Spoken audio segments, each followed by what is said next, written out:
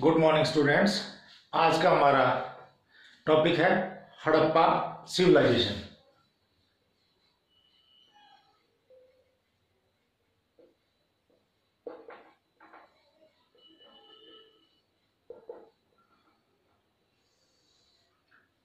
Harappa civilisation में सबसे पहले हम करेंगे हड़प्पा सिविलाइजेशन का नामकरण, यानी nominal of Harappa civilisation Harappa civilisation को पहले सिंधु घाटी की सभ्यता का नाम दिया गया था, क्योंकि हड़प्पा सभ्यता के जितने भी सेंटर्स जिनकी शुरू में खोज हुई थी, वो सिंधु और उसकी सहायक नदियों के आसपास ही मिले थे, जिसमें सिंधु, सतलुज, ब्यास, चिनाब, जेलम, रावी और सरस्वती नदी, जो कि अब लुप्त हो गई है, इन सात नदियों के आसपास ही इस सभ्यता के सेंटर्स मिले थे, इसीलिए इतिहासकारों ने इसको सिंधु घाटी की सभ्यता का नाम दिया था।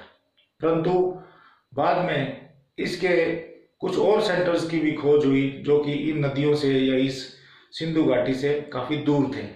इसलिए इतिहासकारों को लगा कि ये जो इसका नामकरण है, सिंधु घाटी की सभ्यता, वो इसको कहना तर्क संगत नहीं होगा। इसलिए इसका नया नाम दिया गया हड़प्पा सिविलाइजेशन क्योंकि हड़प्पा इस सभ्यता का प्रमुख केंद्र भी है और सबसे पहले खोज भी 1921 में हड़प्पा की हुई थी। इसलिए अब इसे हड़प्पा सभ्यता का नाम दिया जाता है। सेकंड है इसमें कि इस सभ्यता की खोज कैसे हुई? तो खोज में इसमें सबसे पहले अंग्रेज़ी पीरियड के अंदर इस सभ्यता की खोज हुई थी और अंग्रेज़ों के राज में आर्कियोलॉजिकल सर्वे ऑफ़ इंडिया एक प्रमुख डिपार्टमेंट होता था, जो कि भारत में इतिहास के स्रोतों की खोज करते थे और इतिहास का निर्माण करते थे। इसी में हड़प्पा सभ्यता में सबसे पहले जो प्रमुख योगदान है, वो आर्कियोलॉजिकल सर्वे ऑफ़ इंडिया के उस टाइम के चेयरमैन कनिकम थे, जिन्होंने हड़प्पा पे सबसे पहले काम किया। परंतु बाद में सर जॉन मार्शल, जो कि आर्कियोलॉजिकल सर्वे ऑफ़ इंडिया के उस टाइम के डायरेक्टर थे, उनके निरीक्षण में हड़प्पा और मोहनजोदड़ो इन दो केंद्रों के खुदाई का काम शुरू हुआ और हड़प्पा की खुदाई दयाराम साहनी के नेतृत्व में हुई और मोहजोदड़ो की आर डी बनर्जी के नेतृत्व में हुई। 1921-22 में हड़प्पा और मोहजोदड़ो इन दोनों की खोज हुई और इसमें सर जॉन मार्शल का भी बहुत बड़ा योगदान था। इस प्रकार हड़प्पा की जो खोज है, वो 1921-22 में अंग्रेज़ी पीरियड में सर जॉन मार्शल, जो कि आर्कियोलॉजी सर्वे ऑफ़ इंडिया के डायरेक्टर थे, उनके निरीक्षण में दयाराम साहनी और आर डी बनर्जी ने की थी। तो ये था कि इस सभ्यता को इसका जो नोमिन कल्चर है, उसका जो नामकरण है, वो किस आधार पे है? और उसके बाद है सेकंड इसका कि इस सभ्यता की डिस्कवरी यानी खोज कैसे हुई? थर्ड हम इसमें करेंगे इसका टाइम पीरियड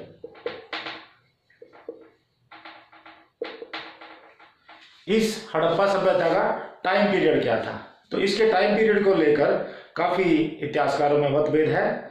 मॉर्टिमर विलर, इन्होंने यही कहा कि हड़प्पा सभ्यता 2500 बीसी से लेके 1500 बीसी के बीच रही है। इसी प्रकार सर जॉन मार्शल जो है, उन्होंने ये कहा कि ये सभ्यता 3200 से 2750 के बीच रही है। परंतु जो रेडियो कार्बन डेटिंग टेक्निक है, जो कि एक साइंटिफिक टेक्निक है, उसके आधार पे ये पाया गया कि ये 2300 से लेके 1750 बीसी के बीच ये सभ्यता रही है। तो इस प्रकार हड़प्पा सभ्यता का जो काल है या जो टाइम पीरियड है, वो 2300 से 1750 है। अब हम करेंगे कि इस सभ्यता का पतन डिक्लाइन कि इतनी बड़ी सभ्यता थी और ये 2300 से 1750 के बीच रही, परंतु 1750 में इसका पतन हो गया तो इस इसके पतन के क्या कारण हो सकते हैं? हड़प्पा सभ्यता के कोई लिखित स्रोत नहीं मिलते हैं। सिर्फ़ आर्कियोलॉजिकल सोर्सेज है, उसी पे हमें रिलाई करना पड़ता है। इसलिए वहाँ से जो भी हमें खुदाई से प्राप्त सामान मिला है मोरे मिली है, मिट्टी के बर्तन मिले हैं, बिल्डिंग्स मिली हैं उनसे हमें हड़प्पा सभ्यता के पतन के बारे में पता नहीं चलता है। कयास लगाए जाते हैं कि हड़प्पा सभ्यता का पतन के कारण हो सकता है कि नदियों ने मार्ग बदल लिया हो। हो सकता है कि बार बार बाढ़ आने की वजह से नगर तबाह हो गया हो, सभ्यता तबाह हो गई हो। हो सकता है भयंकर भूकंप आया हो या कोई और नेचुरल कैलेमिटीज आई हो, जिससे कि ये सभ्यता का पतन हो गया। परंतु प्रमुख कारण जो इतिहासकार मानते हैं कि हड़प्पा सभ्यता का पतन आर्यों ने किया। आर्य उस समय लार्ज नंबर्स में जो है खैबर पास और दूसरे पासिस के थ्रू इंडिया में मध्य एशिया से आने शुरू हो गए थे और यहाँ पर आकर वो धीरे धीरे बसने शुरू हो गए। वो तो एक पशुपालक थे चरवाओं की खोज में वो यहाँ पर आए थे और ट्राइबल पीपल थे, लड़ाके पीपल थे और उनके पास लोहे के हथियार थे, उनको लोहे का ज्ञान था और घोड़े रखते थे। और वो लार्ज नंबर्स में यहाँ आ गए उनका यहाँ हड़प्पन पीपल्स के साथ क्लैश हुआ और उस क्लैश में हड़प्पा के लोगों को लोहे का ज्ञान नहीं था और वे शांति प्रिय लोग थे और उसी कारण हड़प्पा सभ्यता का पतन आर्यों के द्वारा हुआ। उसके बाद है कि हड़प्पा की विशेषताएँ, कि इस सभ्यता की फीचर्स क्या है? फीचर्स में हड़प्पा सभ्यता जो है, वो दुनिया की सबसे पुरानी सभ्यताओं में से एक है। दुनिया में पुरानी जो सभ्यताएँ हुई है, यूनान की सभ्यता है, रोम की सभ्यता है, मैसोपोटामिया की सभ्यता है, मिस्र की सभ्यता है, इनके समकालीन ही हड़प्पा सभ्यता रही है। वो सारी ग्रामीण सभ्यताएँ थी और हड़प्पा की जो सभ्यता है हमारी, वो एक शहरी सभ्यता थी। यानी हम प्राचीन भारतीय इतिहास पर गौरव कर सकते हैं कि हमारी सभ्यता जो है दुनिया में सबसे पुरानी सभ्यताओं में से एक है और उनसे श्रेष्ठ थी और उस समय भी हमारी सभ्यता जो है शहरी थी और वो ग्रामीण थी। इसके अलावा जो हड़प्पा सभ्यता के लोग हैं, उनको लोहे का ज्ञान नहीं था और इसीलिए सभ्यता को कांस्य की सभ्यता कहा जाता है और कांस्य मेटल से ही जो सारी ज़्यादा सामान यहाँ पे देखने को मिला है। इसके अलावा इनके यहाँ बैलों का ज़्यादा महत्व था और उसके अलावा ये जो है पशु कुछ पशु ऐसे थे जिनको धार्मिक भी मानते थे, कुछ ऐसे वृक्ष भी थे जिनको ये धार्मिक मानते थे। यानी हड़प्पा के लोग भी प्रकृति के पूजक थे। हड़प्पा के सभ्यता के लोगों को घोड़े का ज्ञान नहीं था, घोड़े को वो वाइल्ड एनिमल ही मानते थे, इसीलिए सैनिक दृष्टि से वे पीछे रहे। तो ये मुख्य मुख्य कुछ विशेषताएँ हैं हड़प्पा सभ्यता के लोगों की। इसके अलावा इनकी जो मुख्य सिक्स पॉइंट हमारा town planning town planning Harappa सभ्यता की जो सबसे खास फीचर्स है विशेषता है, वो है वहाँ की टाउन प्लानिंग इतने पुराने समय में, इतनी पुराने सभ्यता में, इतनी अच्छी टाउन प्लानिंग विश्व में कहीं किसी भी सभ्यता में देखने को नहीं मिली है। हड़प्पा के जितने भी नगर मिले हैं, उनमें सभी में जो है बाहर एक बाउंड्री वॉल है, उनमें गेट्स लगे हुए हैं और एक ऊपर सिटेडल है, जिसको हम ऊपरी दुर्ग कह सकते हैं, जहाँ इन्फ्लुएंशियल लोग रहते होंगे, और एक लोअर टाउन है। सभी जितने भी सिंधु घाटी या हड़प्पा सभ्यता के अंदर मिले हैं, वो सभी में जो एक ही तरह के है, ऊपर सिटेडल है, नीचे लोअर टाउन है। एक सिर्फ़ डोलवीरा, एक ऐसा गुजरात में मिला है, जिसमें सिटेडल मिडिल टाउन और लोअर टाउन तीन है। बाकी सभी जितने भी इसके केंद्र हैं हड़प्पा सभ्यता के, उनमें सिटेडल और लोअर टाउन है। बाउंड्री वाल है गेट्स लगे हुए हैं। उसके अलावा अंदर पहले एक बड़ी सड़क जाती है और उसके बाद वो आगे छोटी सड़कें और उससे आगे फिर और छोटी सड़कें हैं और नालियाँ बनी हुई हैं। वेल ड्रेनेज सिस्टम था, नालियाँ ढकी हुई थी।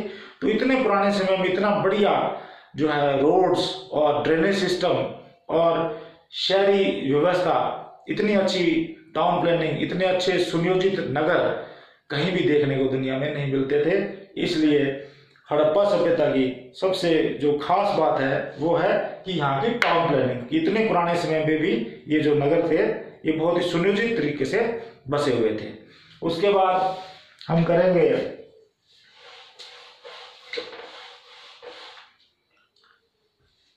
life of Harappan people. Life of Harappan people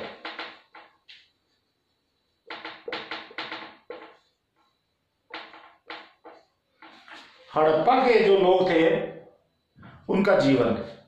तो हड़प्पा के लोगों का क्या जीवन था? उनका सामाजिक जीवन कैसा था? उनका राजनीतिक जीवन कैसा था? उनका धार्मिक जीवन कैसा था? उनका सांस्कृतिक जीवन कैसा था?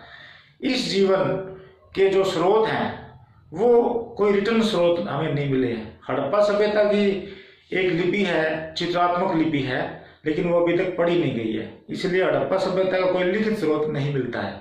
और हमें जो आर्कियोलॉजिकल सोर्सेज है, उन्हीं पर ही रिलाई करना पड़ता है। खुदाई से प्राप्त सामान काफ़ी मिला है बिल्डिंग्स मिली है, और मिट्टी के बर्तन मिले हैं, धातुओं की वस्तुएँ मिली है, मूर्तियाँ मिली हैं, मोरे मिले हैं, सिक्के मिले हैं। तो इस तरह हम कह सकते हैं कि हड़प्पा सभ्यता जो है, उसके लिखित स्रोत नहीं है, सिर्फ़ आर्कियोलॉजिकल स्रोत है। उन आर्कियोलॉजिकल यानी पुरातात्विक स्रोत, उन पुरातात्विक स्रोतों से ही हमें हड़प्पा के सभ्यता के लोगों का जो जीवन था, उसका पता लगाने की कोशिश की है इतिहासकारों ने। तो सबसे पहले जो हड़प्पा के लोगों का जीवन है, उसमें सबसे पहले सामाजिक जीवन जो है हड़प्पा के लोगों का वो हम करते हैं। तो हड़प्पा के जो लोग थे, जैसा कि वहाँ का जो पुरातात्विक स्रोत मिले हैं, उसी के आधार पे ये अनुमान लगाया जाता है। यही सोर्स है हमारे पास हड़प्पा के बारे में। और आपको पता है कि जैसे हिस्ट्री हिस्ट्री में स्रोतों का बहुत महत्व है। अल्टीमेटली जो हिस्ट्री के सोर्सेज हैं, वो ही इतिहास का निर्माण करते हैं। किसी भी घटना के जितने ज़्यादा अच्छे और ऑथेंटिक स्रोत मिलते हैं, उतने अच्छे इतिहास का निर्माण होता है। और जितने जिस घटना के कमज़ोर या कम स्रोत मिलते हैं या मतभेद वाले स्रोत मिलते हैं, वो उसमें इतिहास का निर्माण कठिन हो जाता है और उसमें हमें यही कहना पड़ता है कि शायद ऐसा ही हुआ होगा।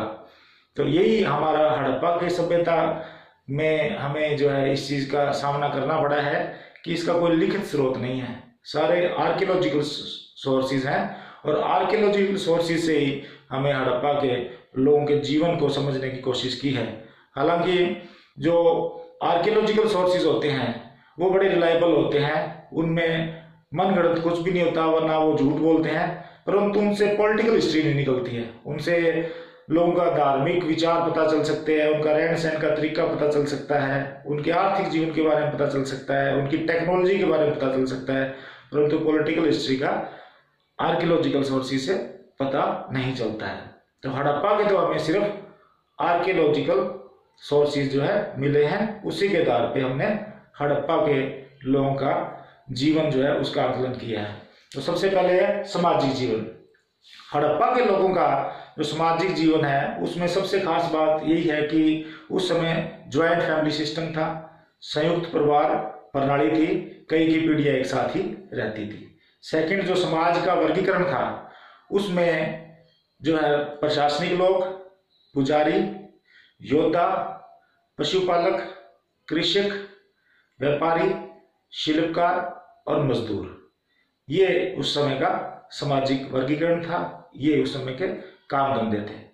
इसके अलावा लोग जो है, हड़प्पा के लोग जो है, वो शिल्पकारी में बड़े अच्छे थे।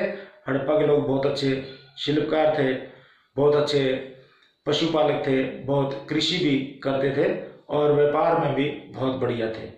इसके अलावा ये इनका सामाजिक वर्गीकरण था।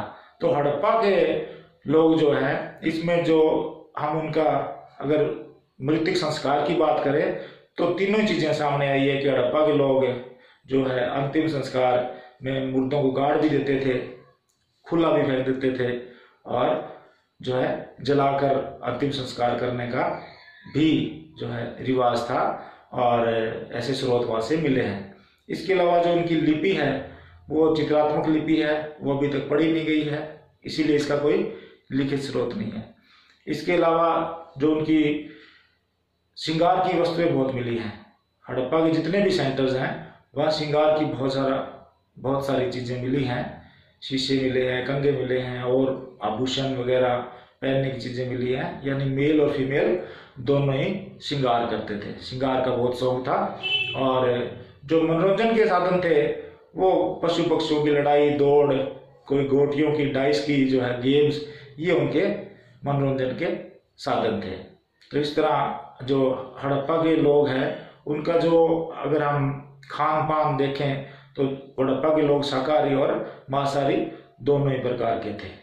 और जो उनकी ड्रेस है ड्रेस के बारे में वहाँ सुइयाँ मिली हैं तो उससे पता चलता है कि वीविंग का काम जो है, होता था और हड़प्पा के लोग सूती, ऊनी और सभी प्रकार के वस्त्र पहनते थे। तो यानी हड़प्पा के लोगों का जो सामाजिक रहन सहन देखा है कि किस प्रकार का सामाजिक वर्गीकरण था, किस प्रकार के काम धंधे थे, किस प्रकार के जो है खान पान था, किस प्रकार की ड्रेस थी, किस प्रकार की टेक्नोलॉजी थी वो सारा हमें उनके हड़प्पा के आर्कियोलॉजिकल सोर्सेज से पता चला है। दूसरा है इनका धार्मिक जीवन। तो हड़प्पा के लोगों का जो धार्मिक जीवन है, उसमें हम यही कह सकते हैं कि बहुत सारी ऐसी मूर्तियाँ मिली हैं जिन पे तेल चढ़ाया हुआ है और उसको मातृ देवी कहा गया है, यानी बर्थ की देवी। तो सबसे ज़्यादा वही मिली है। तो यही कयास लगाया जाता है कि हड़प्पा के जो लोग हैं, वो मातृ देवी की पूजा करते थे सबसे ज़्यादा। इसके अलावा योगी की बहुत सारी मूर्तियाँ मिली है, जिसको पशुपति शिवा कहते हैं। तो कहते हैं कि वो पशुपति शिवा की पूजा करते थे। इसके अलावा बहुत सारे ऐसे पेड़ पौधे थे, जैसे पीपल का वृक्ष हो गया, बड़ का वृक्ष हो गया, इनके भी वो पूजा करते थे। इसी प्रकार कुछ ऐसे पशु भी थे, जिनको वो धार्मिक मानते थे, यानी वो प्रकृति के पूजक थे। और हड़प्पा के लोगों में अंधविश्वास भी अंधविश्वास की भावनाएँ भी थी। तो इस प्रकार हड़प्पा के लोगों का धार्मिक जीवन जो हमें ज्ञात हुआ है, उसमें ये है कि वो मातृदेवी और पशुपति शिवा की पूजा करते थे और पशु और पक्षी और कुछ पेड़ पौधों की भी वो पूजा करते थे। उसके बाद है कि हड़प्पा के लोगों का आर्थिक जीवन। तो आर्थिक जीवन में हम ये कह सकते हैं कि हड़प्पा के लोग जो है, कृषि भी करते थे और पशुपालन भी करते थे। इसके अलावा व्यापार बहुत होता था, देसी व्यापार भी और विदेशी व्यापार भी। माप तोल के बट्टे मिले हैं, दूसरी सभ्यताओं की वस्तुएँ यहाँ पर मिली है, यहाँ की सभ्यताओं की वस्तुएँ दूसरी सभ्यताओं मिली है, यानी सभ्यताओं के बीच विदेशी व्यापार भी होता था। लोथल जो इसका सेंटर है, वहाँ पे डॉकयार्ड मिला है। इसका सीधा सबूत है कि वो वहाँ की हड़प्पा की बंदरगाह थी। तो इस प्रकार व्यापार बहुत होता था और हड़प्पा के लोग व्यापारी लोग थे ज़्यादा। और एक और जो मुख्य धंधा हड़प्पा के लोगों का था, वो था शिल्पकारी। अलग अलग शिल्पकारी के धंधे जो थे, वो सबसे ज़्यादा होते थे। तो हड़प्पा के लोग शिल्पकार थे और व्यापारी थे और लोग पशुपालन और कृषि भी करते थे। ये उनके मुख्य काम धंधे थे। और माप तोल के बट्टे भी मिले हैं, सारी चीज़ें मिली हैं। उन्हीं से ये, उन्हीं स्रोतों से ये पता लगाया गया है कि उनका आर्थिक जीवन कैसा था, उनके काम धंधे कैसे थे। यानी हड़प्पा की सभ्यता एक प्रोस्परस सभ्यता थी। तो ये था हड़प्पा का आर्थिक जीवन। उसके बाद है कि हड़प्पा के लोगों का पॉलिटिकल लाइफ क्या थी, राजनीतिक जीवन कैसा होगा। तो इसमें हम ये कह सकते हैं कि आर्कियोलॉजिकल सोर्सेज से पता नहीं चलता है कि कौन राज कर रहा था, या इसकी पॉलिटिकल हिस्ट्री क्या थी। परंतु आर्कियोलॉजिकल सोर्स से जो है, हम इनके दूसरे जीवन का तो पता चला सकते हैं, लेकिन राजनीतिक जीवन का नहीं चला सकते। इसलिए रिटर्न सोर्स इसके कोई मिले नहीं है, और जो इनकी लिपि मिली है, एक चित्रात्मक लिपि है, वो अभी तक पढ़ी नहीं गई है। परंतु हम ये कह सकते हैं कि जिस प्रकार हड़प्पा सभ्यता के सुनियोजित नगर थे सुनियोजित गलियाँ नालियाँ वेल ड्रेनेज सिस्टम था और हड़प्पा के लोगों का जो व्यापार था, जो चीज़ें वहाँ से मिली हैं, उससे इतनी व्यवस्थित और एक शहरी सभ्यता थी तो प्रशासन बहुत ही सुदृढ़ और ऑर्गेनाइज्ड ही होगा। इसीलिए इस, ऐसी सभ्यता को देखते हुए हम ये पूरा अनुमान लगा सकते हैं कि इनका जो राजनीतिक जीवन है या जो राजनीतिक व्यवस्था थी जो प्रशासन था वो निश्चित ही बहुत ही वेल ऑर्गेनाइज होगा। तो चाहे हो सकता है वो कुलीन तंत्र हो हो सकता है वो पुजारी तंत्र हो हो सकता है व्यापारियों की श्रेणी राज कर रही हो हो सकता है कि राजा हो। तो प्रशासन कुछ भी हो सकता है, परंतु जो है प्रशासन बहुत ही अच्छा था। ये ही पॉलिटिकल हिस्ट्री के बारे में हड़प्पा के लोगों के पता चलता है कि ऐसा प्रशासन था जो कि बहुत ही वेल ऑर्गेनाइज था। उसके बाद है इनकी कल्चरल लाइफ तो हड़प्पा सभ्यता के लोगों का जो सांस्कृतिक जीवन था वो भी बहुत सुदृढ़ था कि हड़प्पा के लोग लेखन कला में भी अच्छे थे उनकी लिपि चित्रात्मक थी आ, सुमेर की सभ्यता से मिलती है वो परंतु वो पढ़ी नहीं गई है इसीलिए वो आज लिखित स्रोत नहीं है। इसके अलावा मूर्ति कला में भी बड़े अच्छे थे बहुत अच्छी अच्छी मूर्तियाँ बनी हुई है मेटल की मूर्ति बनी हुई है कांस्य की मूर्ति बनी हुई है और बहुत ही अच्छी उन पर काली पालिश भी की गई है। तो मूर्तियाँ बहुत मिली हैं और नृत्य की मूर्ति मिली है कांस्य में तो ये मूर्ति कला में बड़े अच्छे थे। इसके अलावा ये डांस का इनके बहुत महत्व था, जैसे मूर्तियाँ मिली है डांस करते हुए तो नृत्य का, नृत्य कला में ये जो है, निपुण थे। और इसके अलावा ये जो भवन निर्माण कला है आर्किटेक्चर वो तो दिख ही रहा है कि जो इतने पुराने समय में, जो इतने सुनियोजित नगर हैं बाउंड्री वॉल बनी हुई है, गेट बने हुए हैं, ऊपर सिटेडल दुर्ग बना हुआ है, नीचे लोअर टाउन बना हुआ है और बहुत ही बढ़िया पक्की ईंटों के मकान बने हुए हैं डबल स्टोरी बिल्डिंग भी बनी हुई है, विशाल अनाज गृह भी मिला है, विशाल स्नान गृह भी मिला है।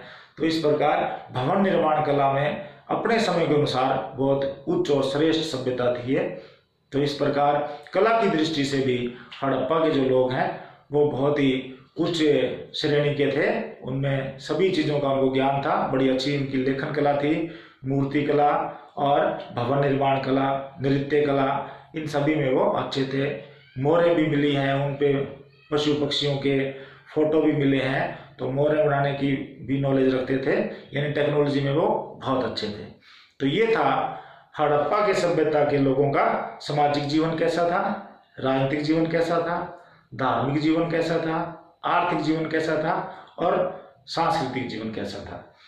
अब इसके बाद हम करेंगे कि हड़प्पा सिविलाइजेशन के centres centres of Harappa civilisation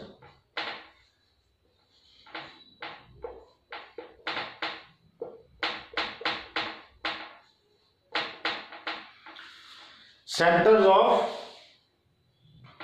civilisation तो हड़प्पा सभ्यता के सेंटर्स हड़प्पा सभ्यता के केंद्र तो हड़प्पा सभ्यता में सबसे पहले जो खोज हुई है 1921-22 में, वो हड़प्पा और मोहनजोदड़ो की हुई है। हड़प्पा की खोज जो है, वो दयाराम सानी ने की थी 1921 में, और ये हड़प्पा का सबसे पहला खोजने वाला नगर और सबसे बड़ा नगर है। इसको उत्तरी हड़प्पा सभ्यता की राजधानी भी कहा जाता है। और ये अभी मौजूदा पाकिस्तान के, पंजाब के मिंट गुमरी ज़िले में स्थित है और हड़प्पा से भी यही चीज़ें मिली हैं कि पूरा नगर है, सिटेडल है, लोअर टाउन है, मिट्टी के बर्तन, मूर्तियाँ और ये सारी चीज़ें वहाँ से मिली हैं, विशाल अनाज गृह भी मिला है और ये मौजूदा पाकिस्तान में है। इसी तरह दूसरा जो मुख्य सेंटर है, जिसको इनकी दक्षिणी राजधानी कहा जाता है मोहजोदड़ो उसकी खोज जो है, आर डी बनर्जी ने की थी और वहाँ भी इसी प्रकार का जो है नगर है और उसमें सिटेडल है और लोअर टाउन है और इसी प्रकार का सामान वहाँ मिला है, विशाल स्नान गृह वहाँ मिला है। ये भी अभी पाकिस्तान में ही है, सिंध के लड़काना डिस्ट्रिक्ट में ये अभी स्थित है। और हड़प्पा में सात परतें भी मिली हैं जिससे ये पता लगता है कि ये नगर बाढ़ से सात बार खत्म हुआ है और फिर दोबारा इसको बसाया गया है। ये इनकी दक्षिणी राजधानी भी माना जाता है। तो इस प्रकार ये सबसे मुख्य दो केंद्र हैं इनके, हड़प्पा और मोजोडो जो दोनों ही पाकिस्तान में है मौके पर। इसके अलावा चुनेडो है, अमरी है, ये दोनों भी हड़प्पा के बहुत प्रमुख केंद्र हैं और दोनों ये पाकिस्तान है, मौजूदा पाकिस्तान में है और वहाँ भी जो है इसी प्रकार के ये नगर और ये वस्तुएँ मिली हैं। इसके अलावा अफ़गानिस्तान में भी एक सेंटर मिला है इसका सुतकंदौर वहाँ भी वो भी इसी का ही केंद्र है। इसी प्रकार मौजूदा भारत में गुजरात में इसके सेंटर हैं, जैसे रंगपुर सेंटर है, भगतराव है ढोलवीरा है लोथल है, ये चार जो प्रमुख है, गुजरात में है। लोथल जो इनका हड़प्पा का सेंटर है, वहाँ से डॉकयार्ड मिला है, नाव वगैरह तो विदेशी व्यापार होता था वहाँ से। इसी प्रकार डोलवीरा जो सेंटर है, वो एकमात्र ऐसा सेंटर है जिसमें सिटेडल मिडिल टाउन और लोअर टाउन तीन परतें हैं। बाकी जितने भी सिंधु घाटी या हड़प्पा सभ्यता के जितने भी केंद्र हैं, उनके दो ही नगर जो उनमें दो ही तरह के पार्ट हैं, सिटेडल यानी दुर्ग और लोअर टाउन। इसमें मिडिल टाउन भी है।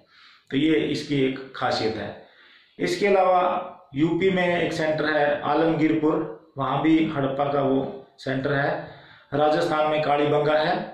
वो भी हड़प्पा का एक प्रमुख सेंटर है। और वहाँ भी ये चीज़ें इसी प्रकार की मिली है। एक सारे नगर एक दूसरे से मिलते जुलते हैं, जो सामान मिला वो भी मिलता जुलता है।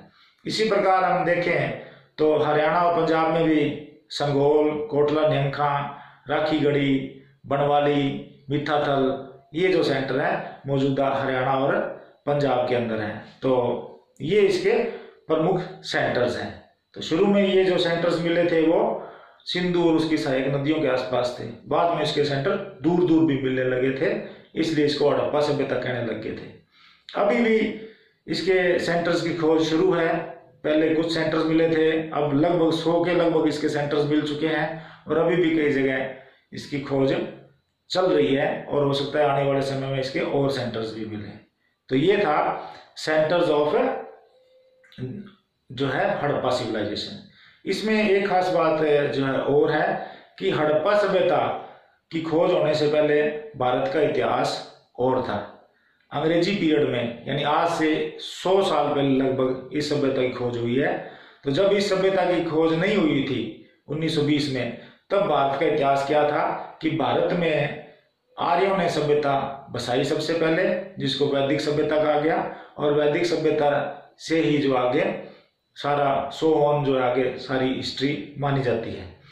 जैसे ही सभ्यता की खोज हुई, हड़प्पा सभ्यता की तो इतिहास बदल गया और ये इतिहास बना कि भारत में पहले हड़प्पा सभ्यता थी और फिर आर्य बाहर से आए और उन्होंने हड़प्पा सभ्यता को खत्म कर दिया और वैदिक सभ्यता बनाई और फिर दोबारा ग्रामीण सभ्यता बन गई और फिर उन्होंने वैदिक साहित्य लिखा और हिंदू धर्म, जिसको हम सनातन धर्म भी कहते हैं, उसका निर्माण भी आर्यों ने किया, वैदिक साहित्य के अनुसार सारे स्रोत वो मिलते हैं। तो इस प्रकार हिस्ट्री में सोर्सेज का बहुत महत्व है। पहले स्रोत यही थे कि आर्य सभ्यता ही पहली सभ्यता थी और आगे सोन हिस्ट्री है।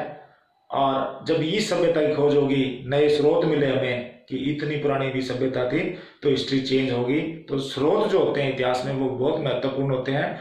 वो इतिहास को बदल भी देते हैं। तो ये सौ साल पहले एक नया इतिहास बना कि पहले हड़प्पा थी, बाद में आर्य सभ्यता आई आगे भी आने वाले समय में हो सकता है कि कुछ हिस्ट्री के सोर्सेज जो है, मिलते रहते हैं, लगातार खोज जारी रहती है कि हिस्ट्री के नए नए सोर्सेज बने और इतिहास की ज़्यादा से ज़्यादा जानकारी जो है, मिले। तो इस प्रकार हिस्ट्री जो है, सौ साल पहले चेंज हो गई थी और जो है, यही है कि हड़प्पा सभ्यता पहले थी। इसी प्रकार हड़प्पा का जो निर्माता थे, हड़प्पा सभ्यता के जो निर्माता थे, उसको लेकर भी कंफ्यूजन है। कुछ विदेशी इतिहासकार और उसमें कनिगम भी हैं, उन्होंने यही कहा कि हड़प्पा सभ्यता को देखते हुए ये लगता है कि इसकी स्थापना जो स्थानीय लोगों ने नहीं की। बाहर से, मैसोपोटामिया से और वहाँ से, मध्य एशिया से लोग आए थे और व्यापार चलता था। और उन्होंने जो है यहाँ पर आके ये सभ्यता बसाई है। परंतु बाद में ज़्यादातर इतिहासकारों का यही मत बना कि इतने पुराने समय में इतनी ज़्यादा माइग्रेशन नहीं होती थी और ये जो सभ्यता है, जिसको हम की हड़प्पा की सभ्यता बोलते हैं, इसका निर्माण जो है, वो यहाँ के स्थानीय लोगों ने किया। लोग आदि मानव जो है नवपशान काल में कृषि करना सीखा, फिर बस्ती बनी, समाज बना, रीति रिवाज बने और उसके बाद उन लोगों ने जो है धीरे धीरे डेवलपमेंट करते हुए थोड़े ही समय में पाँच हज़ार साल में वो इस सभ्यता के स्टेज में पहुँच गए और लोग जो है, कुछ नगर बन गए और बाकी लोग गाँव में या कंट्री साइड में भी रहते थे। तो लगभग यही फिर बाद में निकल कर आया कि हड़प्पा सभ्यता जो है, वो यहाँ उसके जो निर्माता है, वो यहाँ के स्थानीय लोग ही हैं, न कि विदेशी हैं। और ये जो हड़प्पा सभ्यता के जो निर्माण हुआ है वो एक नेचुरल प्रोसेस है कि नवपशान काल में लोग यहाँ की खेती करने लगे और उसके बाद डेवलपमेंट हुई और उसके बाद धीरे धीरे खेती अच्छी तरह से होने लगी हल्का और और मेटल का प्रयोग हुआ खेती के अंदर और पशुपालन खेती बाड़ी के साथ साथ शिल्पकारी धंधों का विकास हुआ, फिर व्यापार का विकास हुआ और इनका विकास होने से फिर शहरी सेंटर्स बनने लगे और उसी का परिणाम था कि हड़प्पा में नगर थे और बाकी ग्रामीण व्यवस्था भी थी तो ये एक नेचुरल प्रोसेस था और यहाँ के स्थानीय लोगों ने ही जो है हड़प्पा सभ्यता का निर्माण किया था। तो ये आज का हमारा टॉपिक था, जिसमें हमने सारा डिटेल में किया कि हड़प्पा सिविलाइजेशन जो है, इसका नामकरण जो हड़प्पा क्यों है, या पहले इसको सिंधु घाटी की सभ्यता क्यों कहते थे। उसके बाद हमने इसका नामकरण का किया, फिर इस सभ्यता की खोज कैसे हुई फिर ये किस टाइम पे ये सभ्यता रही? इसका टाइम पीरियड क्या है? उसके बारे में अलग अलग मत क्या है? फिर हमने इस सभ्यता का पतन कैसे हुआ? होगा। उसके बारे में विचार किया। फिर हमने हड़प्पा के लोगों के जीवन के बारे में जो है डिस्कस किया। उसके बारे में इसके सेंटर्स कौन से थे सभ्यता के? उसकी हमने नॉलेज ली और उसके अलावा इस सभ्यता की जो फीचर्स थी टाउन प्लानिंग थी, उसकी बात की। तो मुझे पूरा आशा है कि आज आपने जो है इस पूरे लेक्चर में, हड़प्पा के बारे में जो भी आपको नॉलेज मैंने दी है, इससे आप काफ़ी इंटरेस्ट हुए होंगे और आपकी इस टॉपिक पर अच्छी पकड़ बनी होगी। Thank you